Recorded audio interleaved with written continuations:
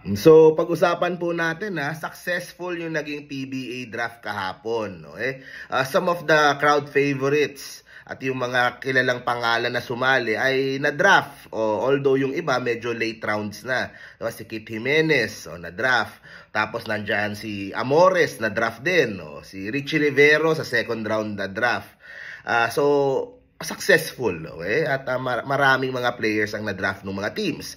O, pero syempre, ang isa sa mga issue pa rin na talagang uh, malaking balakid sa success ng PBA ay itong mga farm teams. Okay? At nagsalita ulit ang ating paboritong coach pagdating sa issue na to, si Coach Yang Giao. 'Di ba na-interview ko siya? 'Di ba nung uh, last year pa 'yon, nagsisimula pa lang yung channel natin and he is still very vocal about sa problem na ito. Okay? Basahin natin yung kanyang sinabi. Malalim tong draft na to, the, the talent level is there. If you're a team looking to strengthen your team, this is the time. Record number of draftees, very deep talent, tapos ang maganda pa rito, walang draftees yung malalakas na teams sa earlier rounds, di ba? Walang nakuha si TNT na maaga, San Miguel, si Magnolia, si Ginebra. Ang problema lang, in one or two years, baka sa kanila na naman mapunta yung mga pick natin ngayon. O parang incubation lang yung nangyari. Okay? So parang tinawag niya na incubator yung pong mga ano, yung pong mga teams na uh, magda-draft ng ng mataas tapos one year lang, two years lang pakakawalan, iti-trade para sa mga uh, veteranong talent na yung career ay medyo on the way na, on the decline na. 'Di ba? Sabi niya ito, uh, if you're serious in competing, this is the time for you to pick your talent and develop that talent if you're serious. O, ibig sabihin sila sa rain or shine, seryoso sila. O, but uh, kung hindi ka serious, magiging incubator ka lang. O, real talk coming from Coach Yeng Giao, di ba? Tapos dinagdag pa niya, ito, sinulat ko eh. We have, we have to put emphasis on parity para gumanda yung liga. Yung ibang Asian Pro Leagues, they're progressing na pag-iiwanan na tayo. So once again, on the issue of parity. Okay? Alam nyo, pagdating sa pera, wala talaga tayong magagawa dyan. Talagang mayaman yung San Miguel, malaman, mayaman yung MVP. Si Maverick uh, Ahanmisi, kunyari, di ba? Uh, na, napunta siya sa Hinebra. Baka mas malaki yung offer ng San Miguel.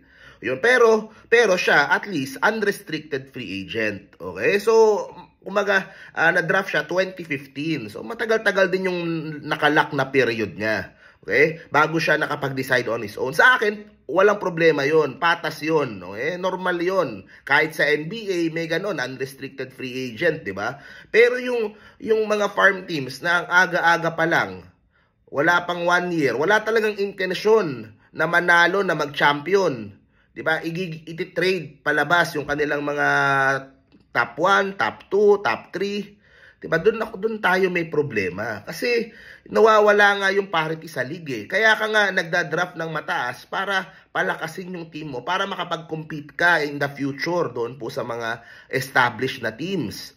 'Di ba? Pero kung kung uh, gagamitin mo lang para kumita ng pera o para kasi it, it boils down to the problem na yung ilang mga teams na tinatawag nating farm teams, kulang ang pera para para mag-operate bilang isang PBA team. So wala silang choice minsan kung hindi magbigay ng player dito, i-trade palugi si ganito. I... So ganun na nangyayari kasi baka baka pag hindi nila gawin 'yon, baka hindi sila mag-survive. So anong punto natin dito? Baka dapat wala sila sa PBA. Kung ayaw nilang mag-compete, baka dapat yung pera nila pang MPBL. Di ba? Baka na yung pera nila sa MPBL, doon sila mag-compete. O syempre, magulo yan kasi syempre nagbayad sila ng franchise fee, nagba pero hindi siya nakakaganda para sa liga kasi nakikita na ng tao. Kung dati, pa ilan-ilan, nagbo-voice out, ngayon lahat alam na eh. Sinasabi na nung lahat eh. 'di ba? And uh, walang effort masyado para pigilan ito, 'di ba? Maganda sana may rule. Kunyari, kung top 3 pick ka, bawal kang i-trade for the next 3 years. So, para at least medyo mahaba-haba man lang bago ka mapitas, di ba? Para pakita naman ng mga teams na nagda-draft ng mataas na seryoso sila at they want to compete in the highest level sa sa PBA. Kung hindi naman kaya, bawasan na lang yung team. Okay? Kasi nababasa ko kahapon, may mga nagsasabi na ang daming dra- ang daming draftees sana dagdagan yung PBA team. Ako baliktad ang gusto ko. Gusto ko bawasan yung PBA team. Kasi uh, they need to, kailangan umatras ng konti para makaabante ng malayo. Okay? Explain ko. Kasi uh, 12 teams ka nga ngayon. Pero meron namang isa, dalawa, tatlo, apat na teams na ayaw gumastos o baka walang panggastos. So napipilitang mag mag-trade ng palugi o So, kung ganun din naman yung mga teams, di ba? Bagbawas na lang. Imagine niyo yung PBA kung walo na lang yan, di ba? Tapos lahat talagang, lahat talagang palaban, lahat talaga, kung mga gustong mag-champion, hindi ba mas maganda yung liga pag ganun? Kahit mas konti yung team. Eh, mas ma- walang mga patapon na, na laban, di ba? Pag yung mga kalaban ay yung mga farm teams. 'Di ba? Mas maganda bawasan na lang yung mga kasama ng teams. O bakit sinabi ko nga atras muna para lumago? O kasi pag pag uh, pumantay na yung liga, mas magiging exciting na yung liga. Kapag maramdaman ng mga negosyante na mas patas na sa ngayon kasi hindi patas eh. The league is controlled by two groups. 'Di ba? Anim na nga yung kanilang legitimate na team out of 12. Meron pang mga farm teams na oo lang ng oo sa gusto nila. Di ba? Parang hirap eh. Ang hirap ng ganong sitwasyon eh. Di ba? Kaya yung, yung mga ibang bilyonaryo na anong pumasok. Tingnan mo nga si Converge, di ba? Kakapasok lang. Parang nagsisisi na. Nakita niya yung totoong sitwasyon ng liga. Parang gusto nga mag-breakaway ata, di ba? Wag naman, wag naman. Pero, pero yun yung frustration eh, di ba? kapag naiayos mo yung liga ngayon, sabihin mo nang naibaba mo sa walo, maganda sana kung mabawasan ng sister teams, di ba? Pero hindi natin sure. O mababa mo, mababa mo sa Sham, pero yung Sham talagang competing for the championship talaga, eh mas ma-attract yung pong ibang mga bilyonaryo na sumama. Okay? Kasi wala pa yung mga grupo ni SM. Si SM may NU. Wala pa yung grupo ni Robinson. Si Robinson may uh, UP. O, wala pa yung grupo ni Villar. Barya na lang yan kay Villar, sa totoo lang. Eh, pero kung makita nila, papasok ako, isang team. O, tapos kakawawain lang yung team ko nitong mga, di ba? An, an, ano eh, hindi siya, hindi siya attractive at hindi lalak lalaki yung yung uh, professional basketball dito sa atin kapag ganun. Kumbaga, uh, sabihin natin, SMC, sa inyo nga lahat ng championships hindi naman lumalaki yung Philippine basketball. Yung mga tao, naiinis naman. Parang, di ba, alam naman ng mga tao na hindi masyadong patas yung laban. Na hindi patas yung, dahil, yun na, may mga farm teams, di ba? So, baliwala din eh. And, uh, yung iba nagsasabi, ngawa ka ng, pero ganyan kasi yan eh.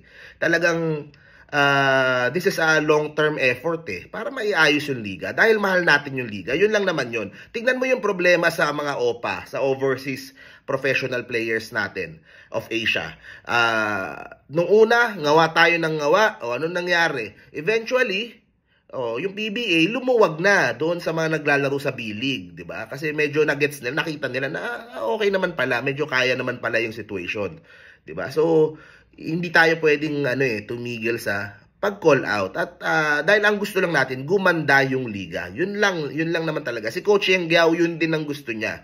Okay, kasi lahat naman tayo, yung may mga edad katulad ko, naabutan natin yung uh, glory days ng PBA.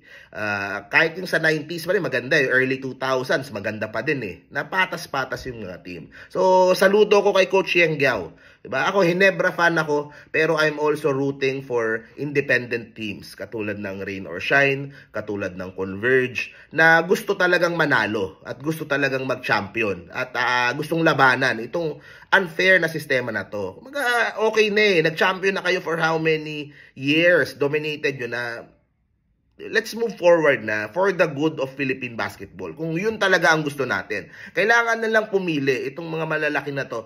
Uh, either gusto ba nila to dominate the PBA or for the good of Philippine basketball.